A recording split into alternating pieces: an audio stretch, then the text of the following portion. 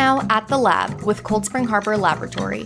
My name is Caroline Cosgrove, and this week at the lab, the human microprocessor. There's a microprocessor inside you. Actually, there are trillions. Only they're not computer processors, they're much smaller and far more complex. Inside every cell nucleus, there's a protein complex known as microprocessor.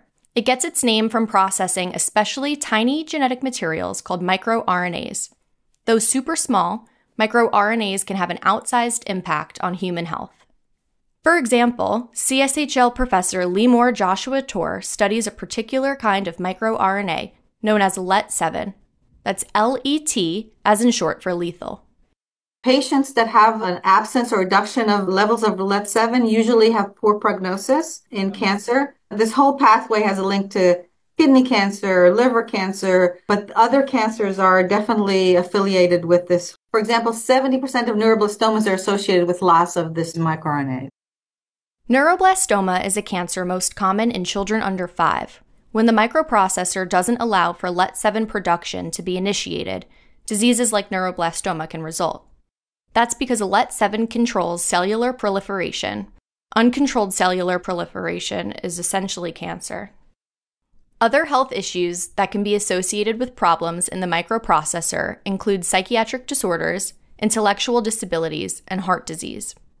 So, when Joshua Tor calls microRNA processing fundamental biology, she means fundamental.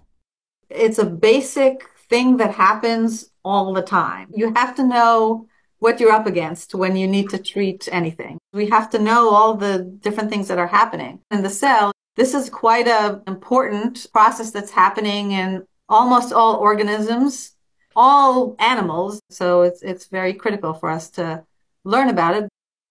And thanks to the Joshua Tor lab, we now have a much better understanding of microprocessors' crucial functions. We already know that many severe diseases and disorders are linked to the lack of certain microRNAs. Now we can see more clearly how those microRNAs come to life. In all 37 trillion cells in the human body and all 8.2 billion people on the planet. There's a lot of places you could be right now, so thanks again for joining us here at the lab.